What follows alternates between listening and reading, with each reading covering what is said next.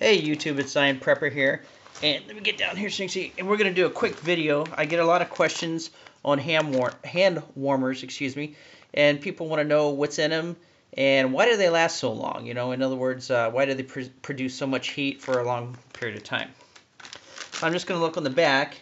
And right there, right there is the, uh, is the ingredients in them.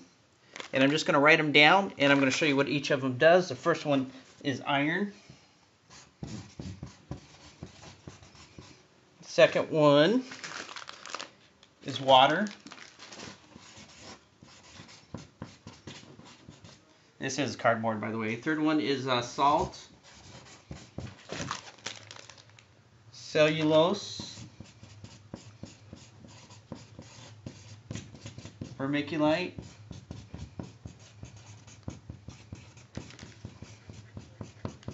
Vermiculite. And activated carbon and I'm just going to call it carbon, C-R-B-O-N. Okay? So what you have, first of all, the iron. If all you are chemistry nerds like I am, iron on the periodic table is Fe. This is what produces your heat. This is why they get hot. Water is where the iron is. The iron's in water. So water is a medium. The medium is where this happens. So uh, the iron is getting hot in the water. Here we're going to put salt. Salt is NaCl uh, from a chemical perspective. Sodium chloride, that's table salt. So anytime you hear table salt, this is what it is.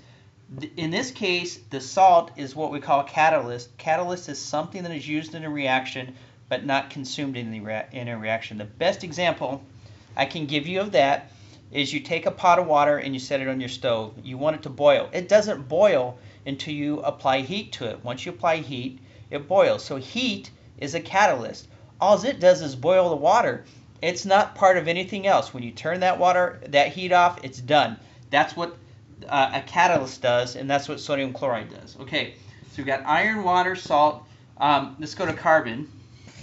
Carbon is nothing but charcoal, right? And all charcoal does is retain heat. It retains the heat. So when this heat is produced, the charcoal says, hey, I'll hold the heat for you. All right? So now we have vermiculite. Vermiculite is an insulator. So it's like the insulation you have in your attic. It makes sure that the heat, no, uh, no additional cold comes in and no heat leaves. So the carbon says, hey, I'll hold the heat. Vermiculite says, I'll make sure you hold the heat. And the last one is cellulose, right here. Cellulose you can see, let's pretend this in here, you see all these empty gaps. So let's pretend everything around these letters is an empty gap. Cellulose fills in all those empty gaps. And the reason it does that is it makes the chemical reaction more efficient. And number two, it helps to retain the heat better. All right, so iron produces the heat. Water, that's where the reaction takes place. Salt, it's a catalyst that makes the reaction occur quicker. Uh, carbon, it retains the heat vermiculite, that's the insulation to make the heat is make sure the heat's retained. And cellulose, cellulose says, hey, I'll fill up any voids or any spaces you have in there to make sure that it's a more efficient reaction and, and the heat can uh, last longer.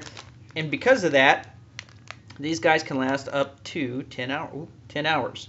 That's why. So now you can explain to all your friends how that works. Um, hadn't done a video in a while, so I thought that was kind of nerdy. But Zion Prepper saying thanks for watching. And uh, as usual, I really do appreciate it.